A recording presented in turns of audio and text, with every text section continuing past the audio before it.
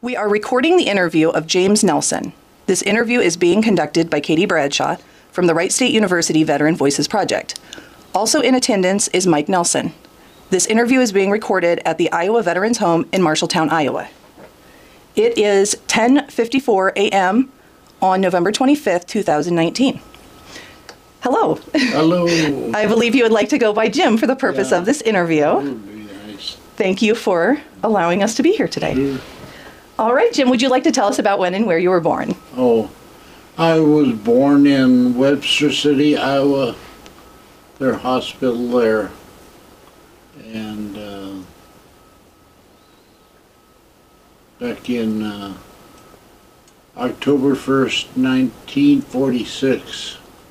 So I was born just after the war was over. That's about that's about it. So, so then you were the first of the children in the family, Yeah, yes, I'm the first of eight. and so second, who came second? Uh, then I had my brother Art and my sister Louise, my sister Rose, my sister Eileen, uh, my sister Mike, and my, my brother Mike. Sorry, Mike. And my my brother Merlin and uh, my sister Debbie. So I had a lot of siblings. You had a lot of sisters. yes, I had four of each. Did that balance out pretty well in the household? Well, actually, it did. I think so. I think it was about as even as you're gonna get. Right. Uh, what did your parents do while you were growing Oh. up? My mom was, uh, she was mostly having children, and my dad was a farmer in Renwick, Iowa. And um, he raised corn and soybeans mostly. And uh, we also had raised hay for our cows. We had cows and pigs and oh, we had about every farm animal you could think of on our farm there. So, uh, Did you enjoy growing up on a farm? oh, it was okay. Uh, oh, I would have liked it better if I hadn't had to work so much, but we were just kind of hard men for our dad. Uh, we we got to do all the chores and all the work around the place. We got to do a lot of it. Uh, we got to bale a lot of hay and straw, and um we we did that all summer long. Seemed like. Yeah. How did you balance during the school year with school and working on the farm? Oh, well, we just went to school. Then when we, when we got home, we went to work. So it was just mostly, uh, You're very busy. yeah, we we we knew we had to work when we got home, so that's what we did. Yeah.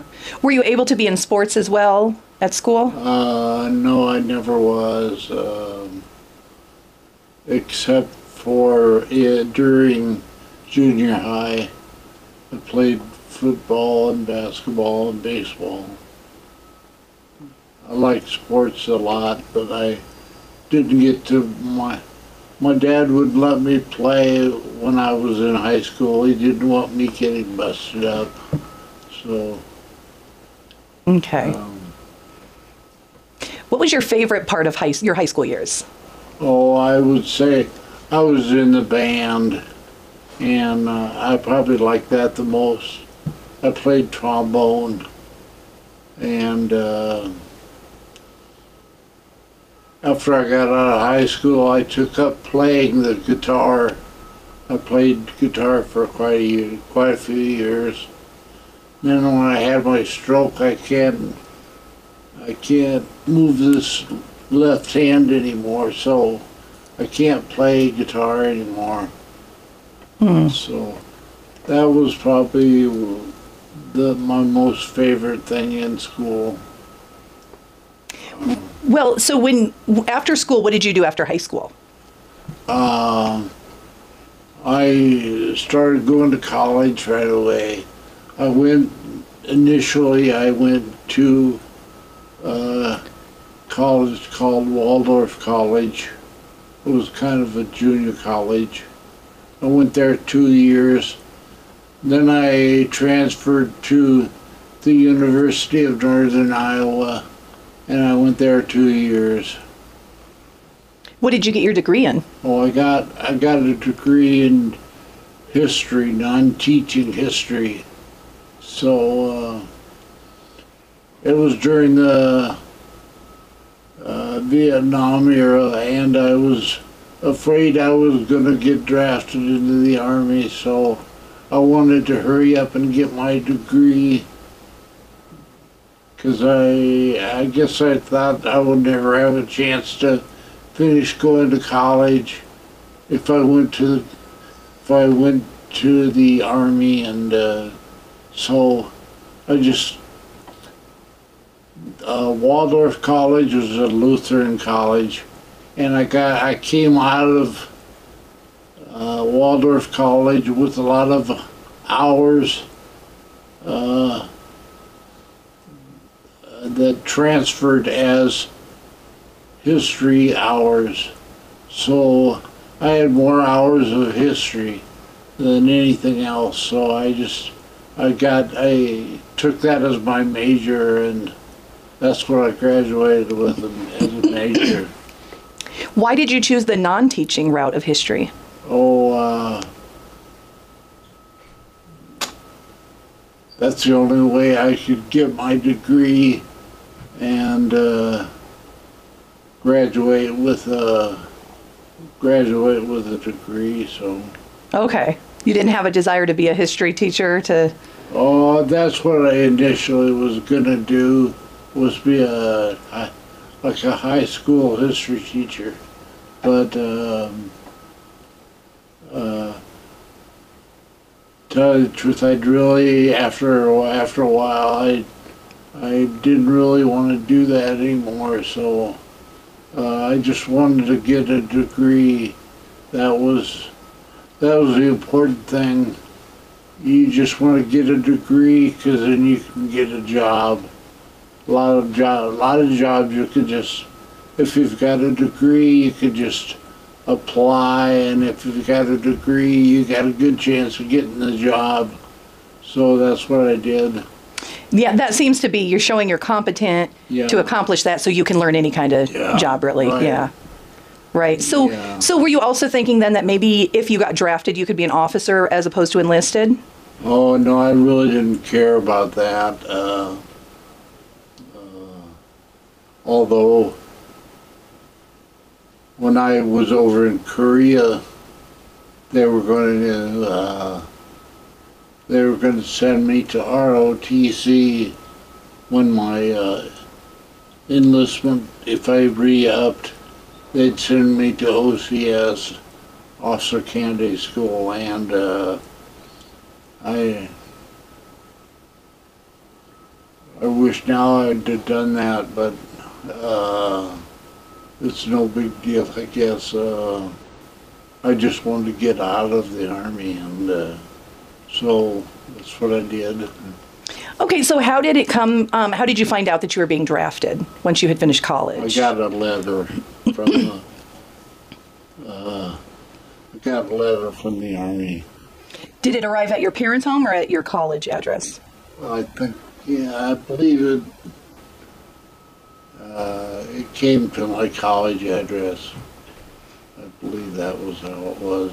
Okay, so the government knew you're finishing up and we're going to grab you. Yeah, well, it's the way Iowa draft worked. Uh, was the county that you were from had track of you, and they knew uh, that I was somehow they, I suppose the college let them know that I was dra- I was graduating, and so they could draft me, and they did. Okay. Yeah, they they had to draft as many people as they could uh, eligible. So, How did you feel when that letter arrived? not, well, actually, I felt pretty good. I had about a I had about half a fifth of whiskey in me. That helped you cope with the news? yeah, So, how did you tell your parents that your letter had arrived? oh, I don't even remember. I suppose that I just called them on the telephone and told them. Yeah. Do you remember leaving for basic training? Yeah. Um, well, I. Yeah, I was sent down to the Army, uh, I think the recruiting station in Des Moines. And then uh, that night, I got on I got on a transport plane with the other people that got drafted, and we flew to uh, uh, Louisiana, and I was bused to Fort Polk, Louisiana, that same day. So at least I didn't have a I didn't have a long bus ride. I just had a long plane ride right down the middle of the United States. We uh, we went right down the Mississippi River, and I, I remember seeing all kinds of cities on the left and right of the plane as we were going down. We could see all the lights of the cities. It was that was fun. The first time I ever been on a plane, so it was kind of neat. So, excitement along with the nerves. Yeah. Well, once you got to basic training, what did you think of the process? Did you did you find it difficult to adjust to or pretty easy? Oh. Uh, yeah, it was pretty. I uh, I didn't have to work much harder than I did at home, so it it didn't didn't bother me much.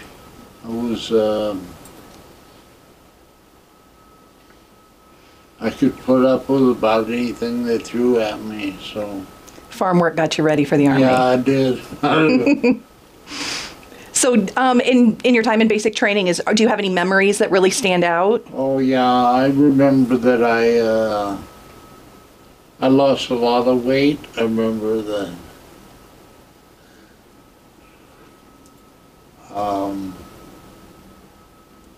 and that was a good thing. I've always had trouble all my life with my weight, so um, they, course, basic training. They have you doing all kinds of crazy exercises climbing around on stuff and uh, doing all kinds of different exercises and stuff. And,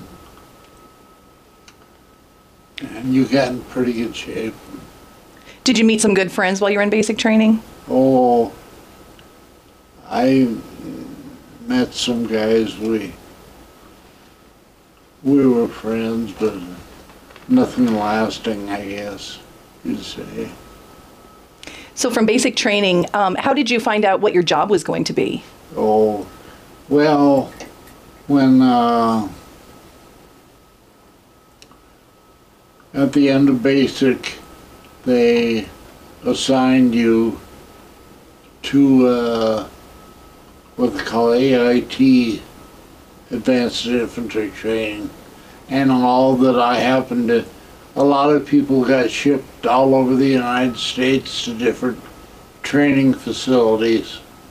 I got shipped across the fort to another uh, infantry uh, unit, and I just had another what what it amounted to was another nine weeks of infantry training or basic training.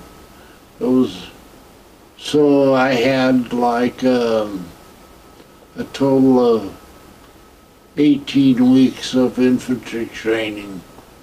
Okay, because basic training felt a lot like Yeah, the same sort of training. AIT was just like basic training. Okay. Yeah. Okay, so your AIT, you went for infantry. Yes. And then from there, did you get assigned to a base or deployed? Yeah, I got I got sent to Korea after that. I got uh, I got to go home for uh, um,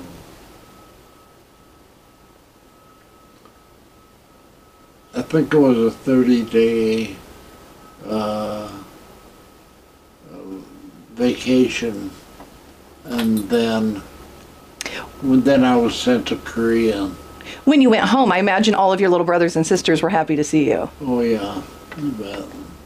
So did your dad put you straight to work on the farm or did you get to go have a pretty good time seeing all your friends? Well, I was married at the time, so I got to see my wife. That was the most important thing to me. And um, I, I really can't remember anything I did. Um,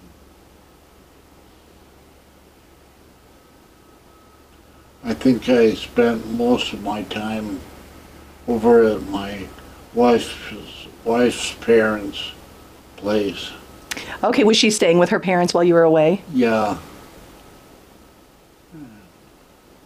That must have been very difficult to find out then that you were going to Korea with Yeah. since you were married. yeah. It wasn't the ideal thing. Um, she ended up staying with her sister in Waterloo. Or she was going to, she was going to, going to college at UNI. We're going there together, and um, I got drafted when I graduated from college. And then she stayed with her sister while I was in the army. Okay, that must have been really difficult. That adds a lot of Yeah. longing for home then to the situation. Yeah, that's for sure. How long had you been married by the time you left? Oh, it was six months, hmm. something like that. Okay. Okay, so that so then when you were leaving for Korea, I imagine that was a pretty difficult goodbye. Yeah. I don't even remember it. So when you were when you arrived in Korea, then um, how was that process? Oh, they sent us to a, a place they called a, a replacement depot, a repo depot is what they called it. And from there, they assigned you to a unit as a replacement.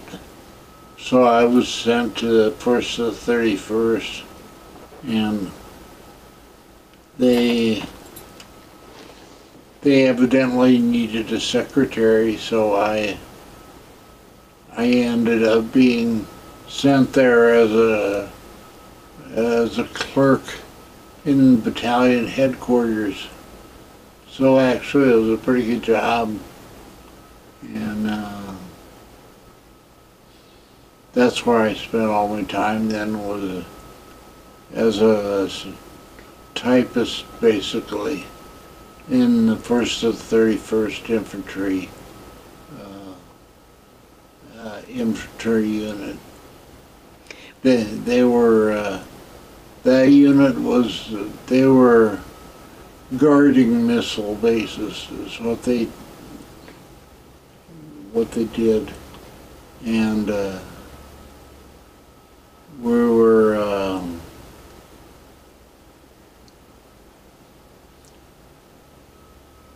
we just kind of moved from place to place. Uh, when I first got there, they were out in the field, so I was uh, I lived for about four months in a big squad tent. And uh,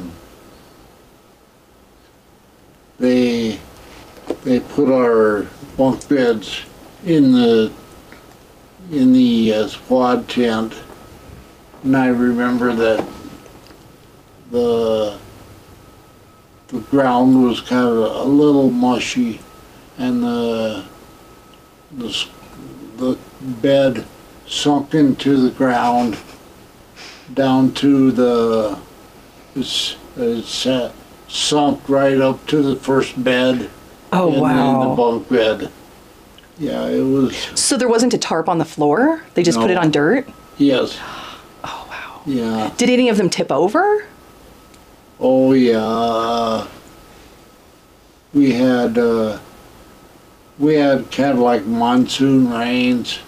That'd that'd uh, kind of flood the tents. So you'd have to you have to wait till the till the rain quit, and then you'd have to rebuild your tent. Hmm. Well, gather all your stuff back. it was, yeah, it was, So you'd get done working your shift and have to go work to repair your living space. yeah, that, that had happened. It, uh, the,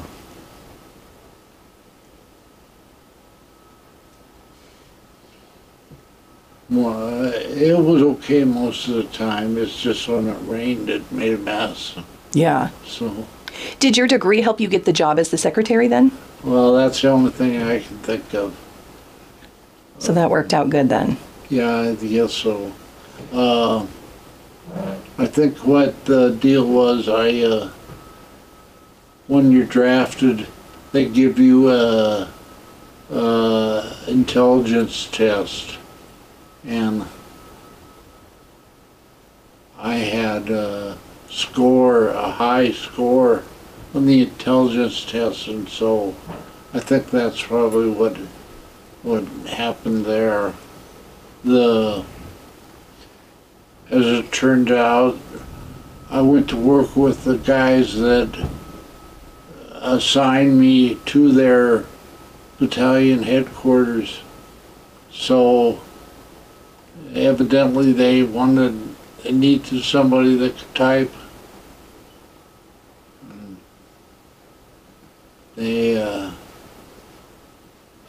they checked each person they were assigning. They had a had their intelligence score on their sheet. So i just assumed they they saw i had a high score so they assigned me to work in their office lucked out i guess Yeah. Did they have to do a security clearance on you then? They did eventually. I did. I didn't have very high clearance. I had a.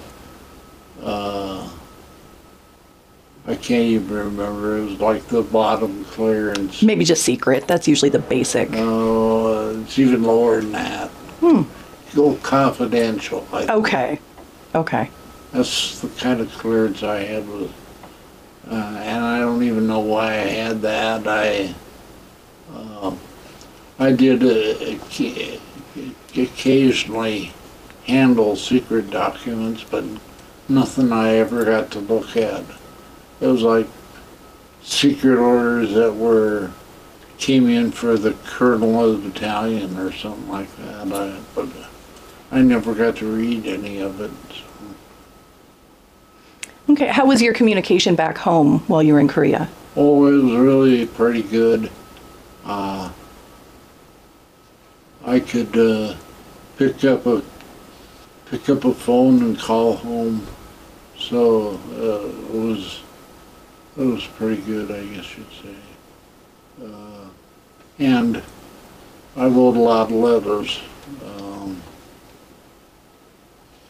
That's what I, that's what I did at night a lot of the time was write letters, so a lot of that. I imagine those are really appreciated. Oh yeah, So you would write home to your to your family, your folks and stuff, and then you'd also write home to your wife. Yes. Uh, mostly I'd write to my wife, but I'd write, I'd write to my folks too. Were you ever able to send some photos home that maybe you had taken? Uh, I remember sending uh, tapes that I'd recorded. I did that, and uh, pictures. I think I sent some pictures also. Did you also receive tapes? Yes. Yeah, I don't know whatever happened to those, but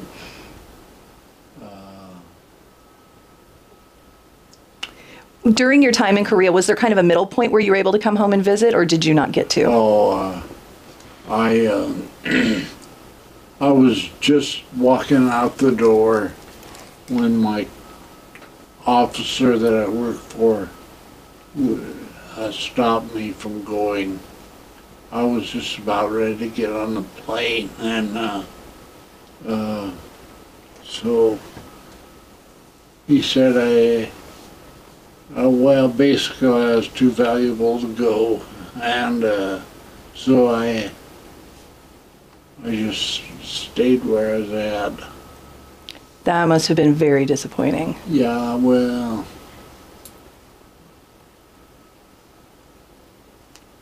it was hard to let my wife know that I was going to come. Yeah.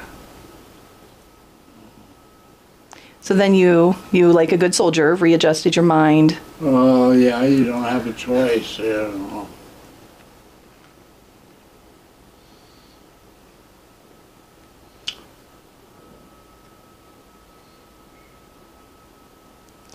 As far as the um, the living while you were there, so you were in a do- in a tent situation that was pretty uh, difficult To start with. to start with. And then we moved to a, uh, a regular base.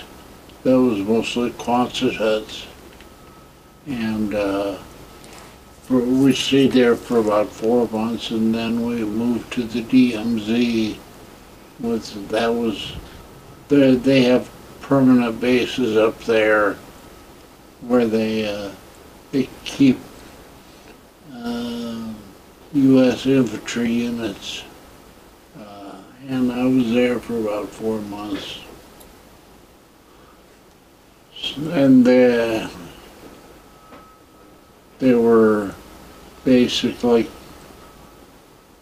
well, if you know what a Quonset hut is, it's uh, just a kind of a steel building. And it had a, they were cold and drafty, I remember that. They had uh, one stove in the, in the Quonset hut to keep it warm.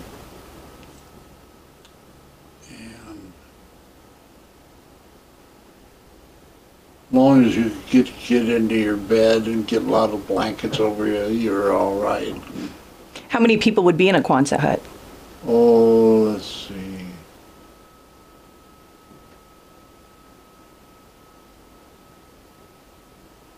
About 20. Yeah. Was it just one big room? Uh, basically, yeah.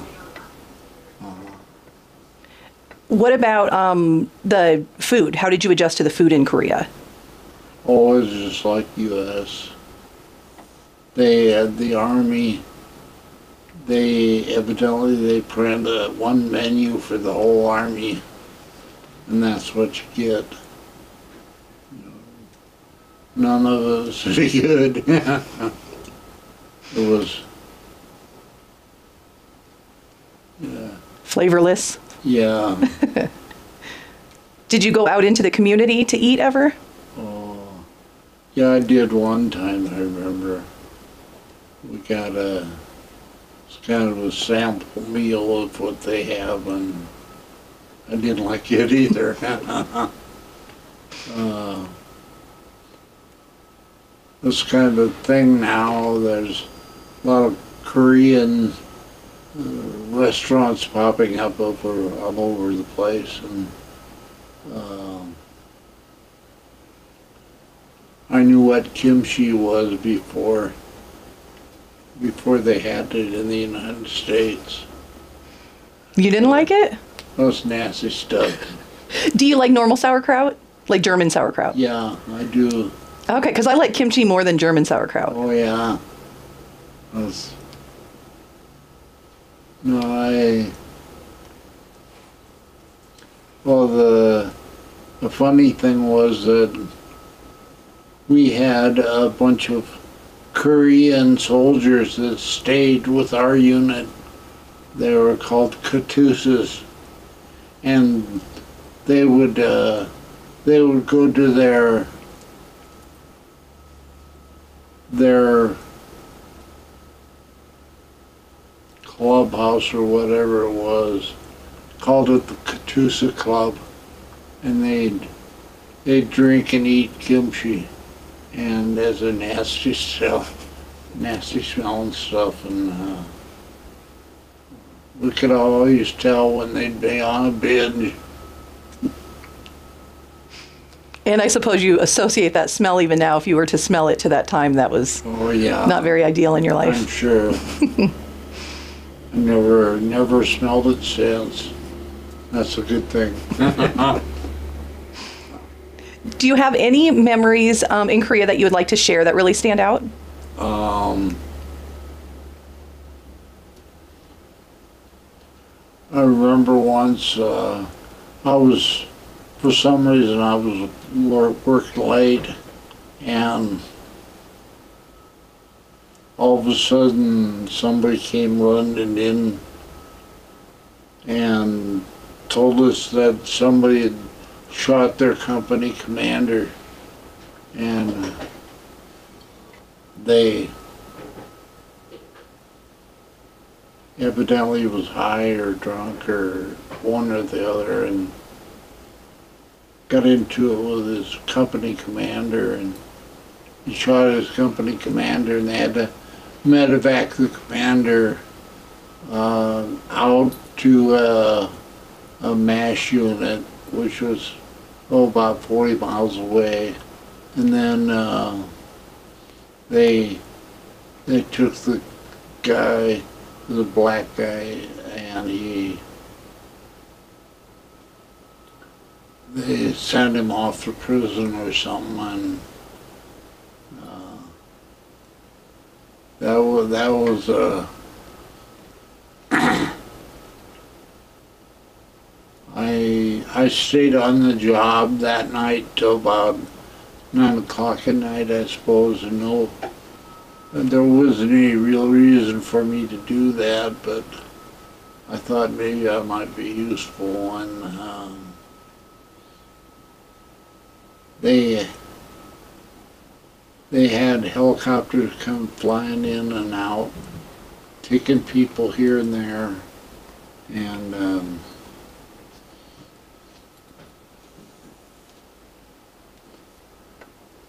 it was, uh, the guy was, I think the guy was on drugs. And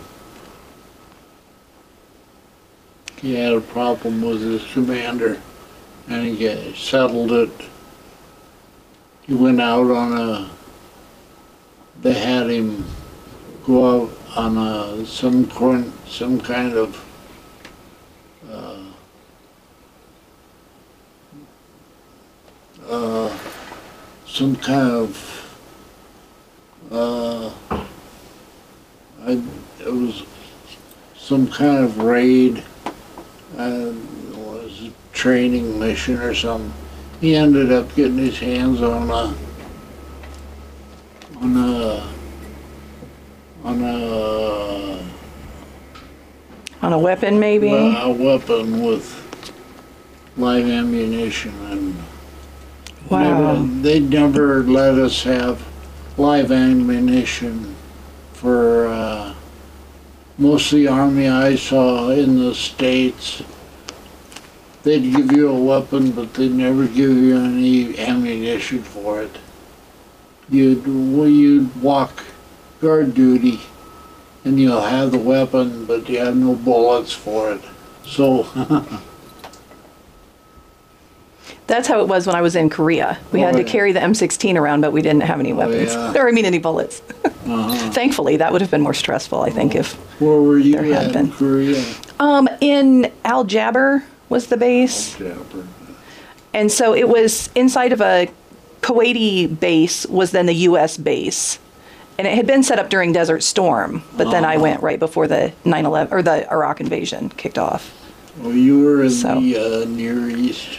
Yeah, but it was it was before the Iraq invasion, so we still got to go into town and eat, you know, food from around the world and do some shopping and the the fun time, not the stressful time. Yeah.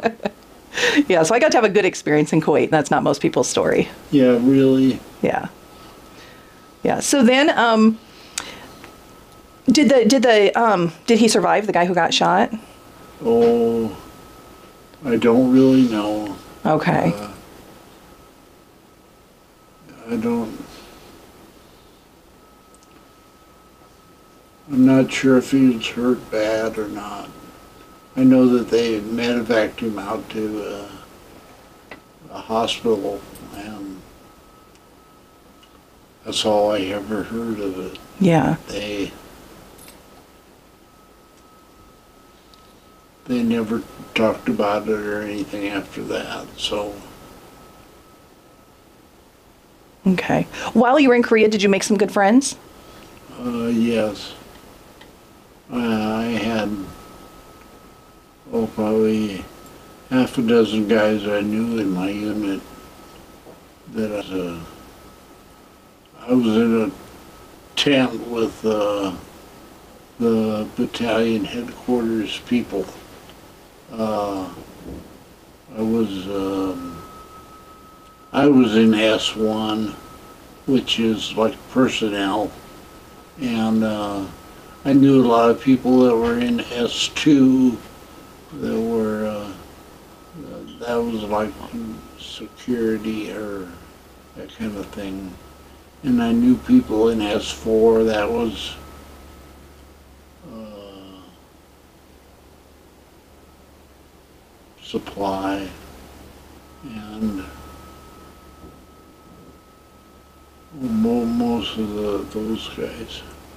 Were you able to stay in contact with some of them after returning home? Yeah, I called, a, I knew a guy in, uh, in fact, his name was Terry Best. He was from Minneapolis. I called him and asked him what he was doing. He left probably a few weeks before I did. And so he was in, he was back home and I think I had, I think I had his phone number and I gave him a call and and I, I think that's the only one I remember calling. I imagine that transition coming home is pretty difficult. Oh no, I was glad to get back. Okay, well that's good. yeah. So how did that go? How did your homecoming go? Um, how did you find out that it was time for you to come home? Well, you knew. Yeah. You have a date on your record. I think it's called your DEROS. That you knew the exact date you were leaving. And um, so when that day came, you they got got you. Uh, they shipped you out and uh,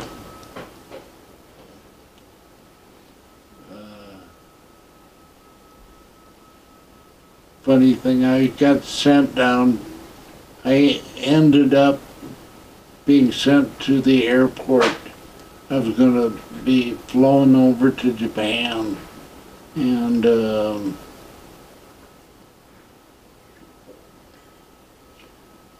the their planes were all full and I couldn't get a couldn't get a ride over and took I I remember staying up all day, day and night, make sure they didn't leave me behind. And I got a ride like a ride the next day, uh, jet over over to Japan. I remember we flew in to a airport that's all right is built out into the sea and we landed over the water and on the runway. It was pretty cool. Was that, were you nervous, hoping he would hit the runway? no. Like hoping he wouldn't miss it? yes. well, I was glad to be on solid ground, I'll say that. Then when we're going, we're taking off, we're going to do a, a single, uh, one solid flight from Japan to Fort Lewis, Washington. And um, it was a long flight. I was dead tired. And uh, I remember we took off and and I think they had they came back and had to work on the plane because it wasn't quite right. Finally, we took off and flew back. We flew over the entire Pacific Ocean, water all the way, and um, uh, landed at uh, Fort Lewis, Washington, or somewhere out there on the west coast. I anyway, I was sent to Fort Lewis, Washington. That's where I got out of the army. So you did not go home first, you went straight to, Yeah, Fort we Lewis. Went to Fort Lewis and got out there. And then they, and I caught a flight uh, out of Fort Lewis to, I think it was Waterloo, Iowa, and uh, one one long one long final flight across the Pacific and one long flight from Fort Lewis to Waterloo, Iowa. And uh, I was tired to fly, and I remember that. I imagine. Yeah. Were you able to out process at Fort Lewis pretty quickly? Well, yeah, not bad. Uh, you know, you have your normal army bullshit. uh, You know, they they they can't re- resist. They can't resist messing with you. So, um, yeah, I don't even remember.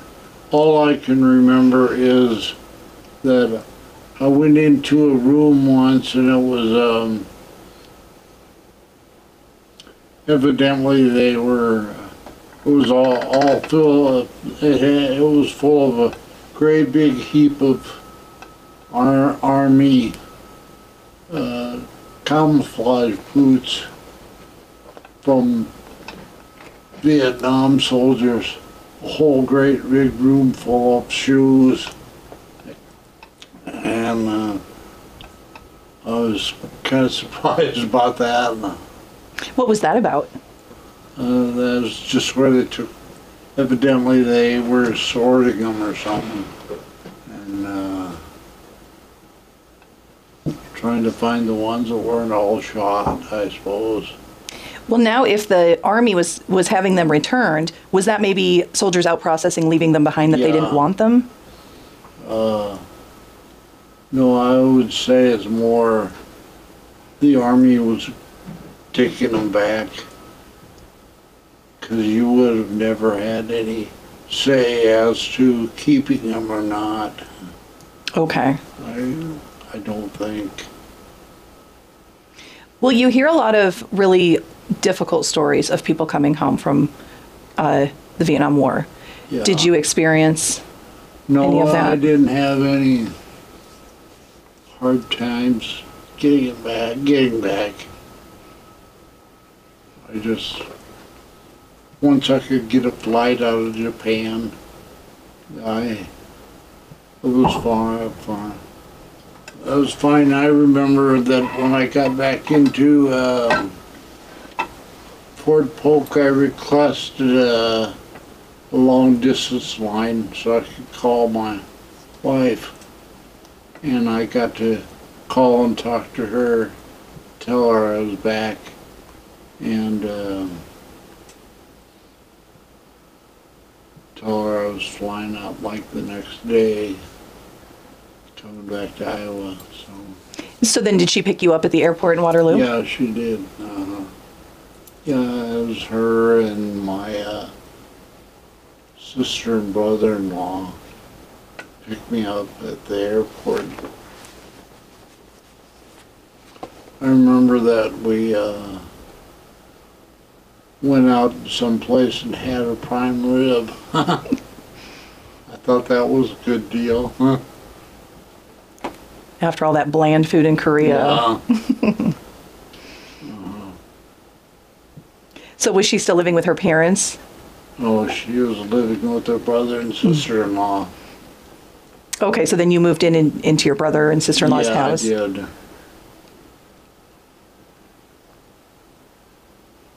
Did you come back and uh, where did you start working when you got back? Oh, I, um, when I was drafted, I was working for, uh, a company called, uh, Central States Theaters Incorporated. They were, uh, they owned a lot of the theaters in Iowa, and I worked at a theater, a drive-in in Waterloo called the Starlight Drive-In Theater. And uh, I went back back to to work at that place, and they gave me a job as an assistant manager there, and I was assistant manager at the uh, theater for it probably four or five months, and then they they gave me I was a manager of the Ranch Drive-In Theater in Ames, Iowa. So I moved from Waterloo to Ames. And then they uh, then they made me manager of the Clinton Drive-In Theater in Clinton, Iowa. And I was there for a couple of years. And uh, I quit at that place. And I moved back to uh, Waterloo. And I was there for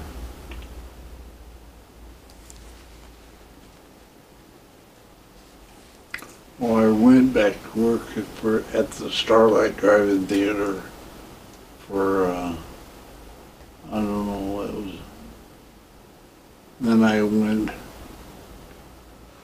I moved from the Starlight back to the Ranch Drive-In Theater in Ames.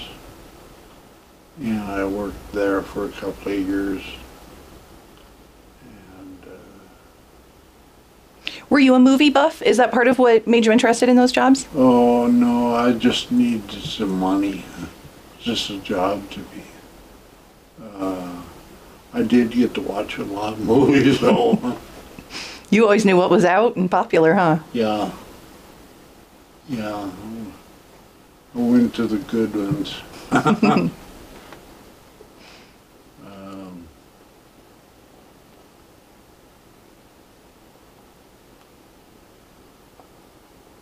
Did you end up getting a chance to use your degree in history?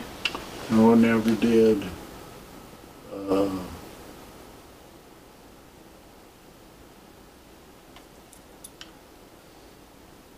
I just I just wanted to make sure I had a degree. Um,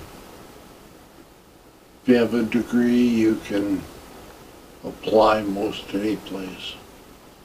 Um, So you eventually ended up working at Winnebago yeah, in Forest City. yeah. Did did you end up back there because you attended college those first few years in Forest Uh, City? Yes. I, uh, I, as a matter of fact, I worked for Winnebago while I was in college in Forest City. And, uh, yeah, I went, uh, I, I think I quit the whatever theater I was running at the time and went to work at, uh, was lucky to get a job at Winnebago and, uh, I spent probably the first six months I was in, uh, when at Winnebago, I was building Winnebagos. I worked on the assembly line and, uh, from there I got a, I got a job as a computer, a computer operator. I did that for about two years.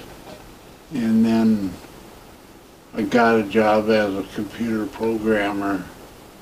And I did that for, oh, probably fifteen years at, at Winnebago. And from there, uh, I got Winnebago is a funny place. Uh, there are like a lot of other uh, factories. They they hire a whole bunch of people when they need them, then they fire them all. And that's what happened to me. Is I got laid off, and. Uh, after that, I got a job with uh, the Le Mars Mutual Insurance Company over in Le Mars, Iowa. And uh, I was a computer programmer and I did that for about 10 years. And then they wanted to uh, install a, um, computer network. So I was put in charge of installing that and uh, I worked for a guy that was uh, he was the head of uh, systems at Le Mars Mutual, and uh, I was, uh, well, I had some title, ne- network uh, administrator or something like that, and uh, I spent my time putting computers together and all. Uh, I uh, installed personal computers for everybody at the company there, over a hundred personal computers. And, uh, and we put a, put in a network and hooked, hooked them all together and, and so that, that's what I did, that's what I was doing when I, um, I was talking to my boss one day. I, I said, geez, I don't feel very good. I'm, I think I'll better go home and, and, uh, I did. I went out, jumped in my truck and went home and the neat thing was my, my boss didn't think I looked very good. He followed me home and came and knocked on my door. I answered the door and op- I opened the door and fell down. And uh, I think that's when I had my stroke. So he called the ambulance and I got taken to the hospital and they started working on me and um,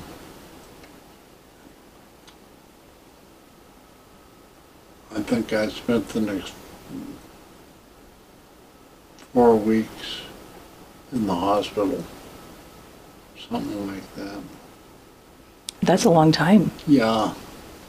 Uh, they sent me from the Le Mars Hospital to Des Moines. Uh, it's, they have a rehabilitation unit called uh, Younkers. And they had me there for a month or two and and uh, I was in pretty good shape when I left there and um,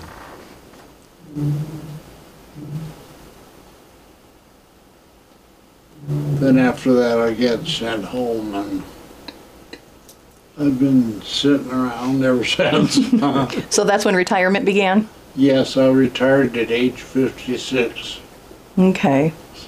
So you were in the computer industry, like the private, um, Right. like personalized computer industry very early on. Oh yeah, when it first started up. Is it amazing to you where computers are now in comparison? Uh, no, because I, my first 15 years of computers, I worked on great big IBM computers. And they were great big machines, you know. Uh, and we thought the uh, personal computers were just kind of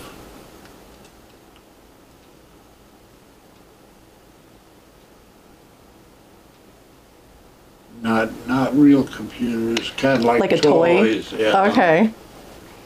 Yeah. Could you have imagined then the internet and Oh, no. smartphones? No, I know it's. Being now you have uh, smartphones, which are basically little computers and uh, tablets. I've even got a tablet. It's pretty amazing, isn't it? Yeah. I. Uh, Were you able to stay involved with um, computers once you retired as a hobby? Yeah, I, I got a big computer right behind you. That's a very nice screen. Yeah. And I see there's a webcam. Do you chat with some people? I did it one time. I don't, I don't have it running anymore. I used, uh, what's that one program? Skype? Skype, yeah. Yeah, I used, I had a guy in here in IVH, I used to Skype all the time and, uh,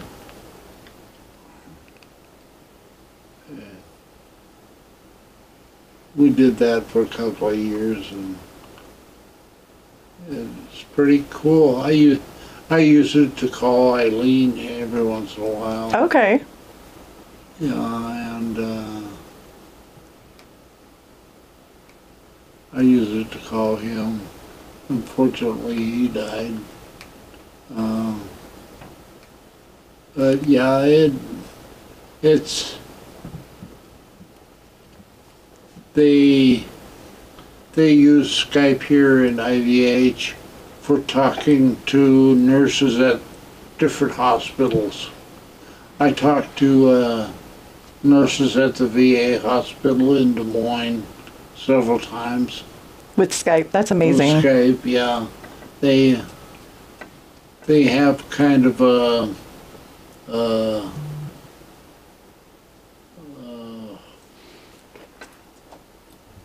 computer unit they put together for uh, using Skype to call people at the VA hospital in Des Moines.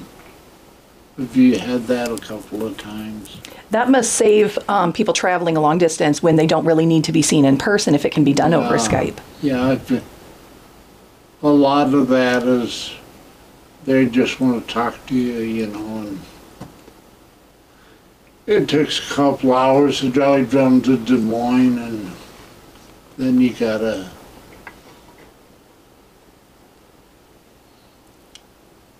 I used to get uh, for a while.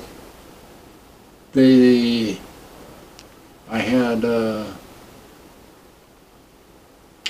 tests that showed I might have cancer, so they had me go to the VA hospital in Des Moines for tests.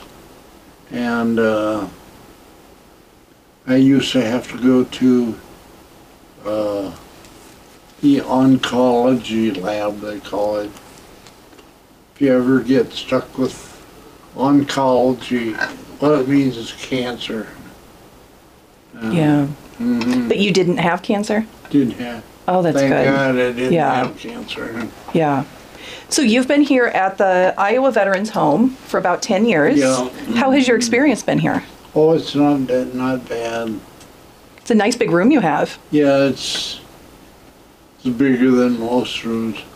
Bigger than the rooms I had before I moved into it. Um, well, Mike remembers where I used to be. It was about half the size of this.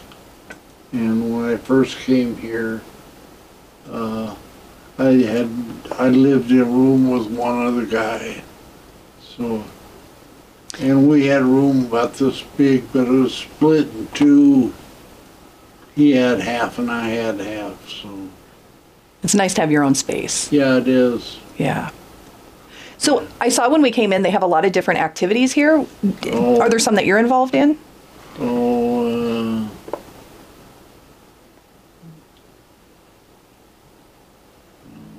uh, no, not really, uh,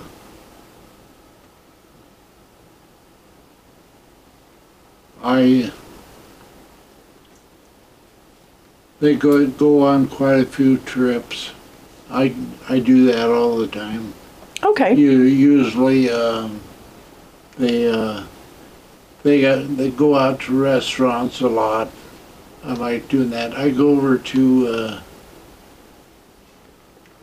what's the place in Ames? That big one, Yes,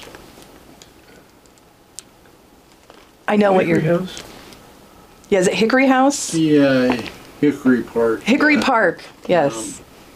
Yeah, we go over there all the time. I like that real well. And uh, there's a a uh, barbecue joint here in town I like, and I'll go every every place but uh, fish. I don't like fish, so.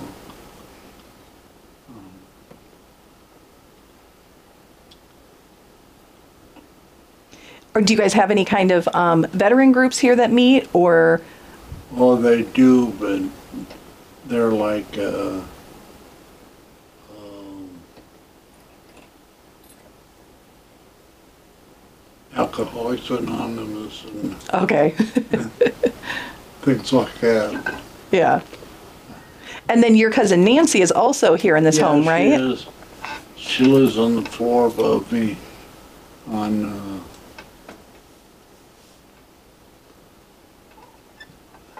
yeah, she's in the middle of the hall, right above me and That must be nice to have a family member.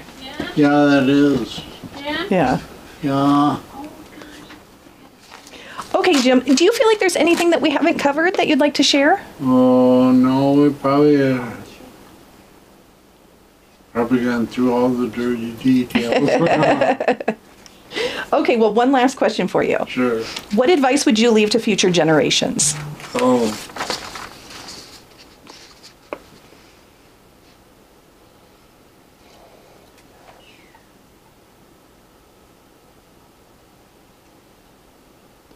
I would say that the best financial fi- advice I can give people is don't get involved with stock market. Uh, I I had money in two different stock market. Uh, what, do they- what do they call them? Funds or Roth IRAs or, No, they were actually I had stocks? I had stocks. okay, and uh, I lost all- my money and and uh, when I left when I left Winnebago I had I got a 401k distribution. And I inve- I invested it with Piper Jaffray. And the guy there that I invested it with uh, bought stocks in gold. Well, yeah, it's gold. Basically, I owned a bunch of gold stocks that went bad and I lost all my money and Mm. he did it all without my knowledge. And um, then I had uh, I had another 401k distribution. One was it was another stock market place I invested it. It was back during the 2008 The recession. recession, and I lost uh, a lot of money then, and so then I uh, I uh, pulled all the money out of that and invested it in a, a mut- uh, uh, it's uh, like a mutual fund that uh, it it finishes when I'm 75. Okay.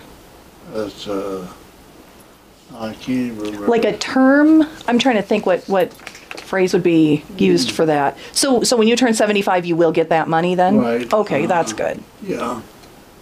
That's good. The problem is, uh, when I came in here, they get all my money, everything I have. They get, they get all my social security, and I had some uh, military uh, medical funds that I get, get on a regular basis, and they get all that. That's, Okay. That's how I pay, pay to stay in here. Yeah. So if you get this payout at 75, do they get that money as well? Yes, Oh, um, wow. So I, uh, I don't know what I'm gonna do about that, but, Okay. um, yeah, essentially I'm in here and I get a hundred and forty dollars a month. Okay. That's what I get. But they get from the money that I get from the government, they get whatever I have coming. To pay to take care of you, to cover to take Yes, care of you. uh-huh. Yeah.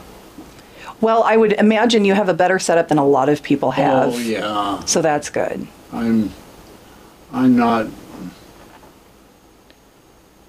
I'm pretty well off compared, compared to most people, I'd say. Most people in rest homes and that kind of thing. Yeah. I I probably got a better, I mean, just, just every month they take us to all kinds of places and, you know, I get to, I get to go to a lot, a lot of places more than I would have if I was staying at home. Yeah, and the building is beautiful. This Oh, looks like such a nice facility. Yeah, it is really nice. That's good. Okay, well, we'll, we'll, oh, did you, is there anything else that you wanted to add? Uh, not that I can think of. All right. This concludes our interview with James Nelson. Thank you for your time today and thank you for your military service. Sure.